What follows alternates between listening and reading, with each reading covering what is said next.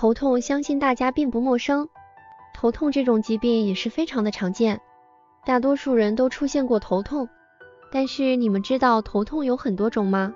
今天我就给大家讲一讲其中的一种，它叫神经性头痛。它的出现主要是指紧张性头痛、功能性头痛及血管神经性头痛，多由精神紧张、生气引起。下面我就给大家详细讲解一下这种疾病。同时，也希望对大家有所帮助。神经性头痛的主要症状有哪些呢？一、患者会出现持续性的头部闷疼、压迫感、沉重，大多数的患者为两侧头痛。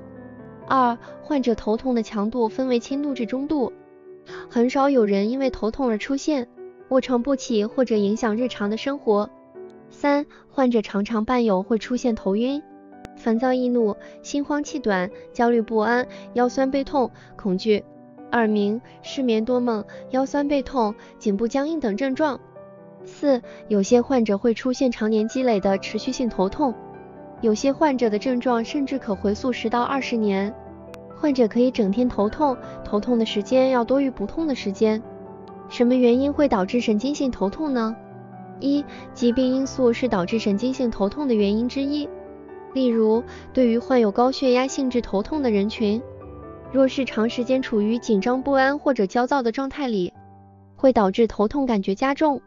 二、生活原因也占有部分原因导致神经性头痛，例如工作的压力、生活的压力、长时间生活不规律、伴有烟酒史的人群，是最容易导致神经性疼痛的。三、很大一部分原因是由于环境因素导致的。可能由于环境因素致使头内部组织导致受到刺激或者压迫导致的，因此在治疗方面需要尽快查处环境的哪些原因导致，才能采取治疗手段。四、神经性头痛主要是由于头部的肌肉紧张收缩或者受到压迫等，这与个人的工作环境也很有关系，因此职业因素也作为神经性头痛的病因之一。随着高压力的工作下。人们经常夜以继日工作，饮食无规律，压力过大，往往这些人群都是会伴有头胀痛的现象。患上神经性头疼，我们该如何治疗呢？神经性头痛综合物理治疗包括药物治疗、心理治疗、物理治疗、仪器治疗等治疗，是按疗程的，一般病例一个月一个疗程，住院综合治疗一个月后回家继续服药治疗。许多慢性病例病程十到二十余年。住院治疗时间需要适当延长，可以连续治疗二到三个月，多数病人可以康复。住院治疗除了上述综合治疗措施外，最主要的是心理调整，因为这种疾病属于神经心理疾病，配合心理治疗会取得更好的效果。神经性头痛预防要点有哪些呢？一、合理安排好病人的工作与休息，进行适当心理护理。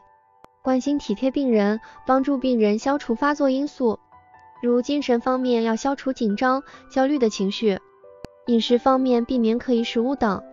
二、头痛发作者应观察头痛的性质、时间、程度，是否伴有其他症状或体征，如出现呕吐、视力降低、肢体抽搐等多器质性头痛，应立即送医院或与医生联系，针对病因进行处理。三、轻微头痛可对症治疗，并清除过敏因素，如可疑食物是偏头痛发病的因素之一，如蛋类、奶类、肉类。头痛剧烈、频繁呕吐和入睡困难者，可酌情给予镇痛、安眠剂等对症处理，并需卧床休息。四、平时注意劳逸结合，避免过度劳累和不稳定情绪。饮食要节制，不要饮酒和吸烟。五、注意个人卫生，防止感染。如有牙科疾病，应首先治疗牙病。女性若服用避孕剂时头痛发作频繁，并逐渐加重，可改用其他避孕方式。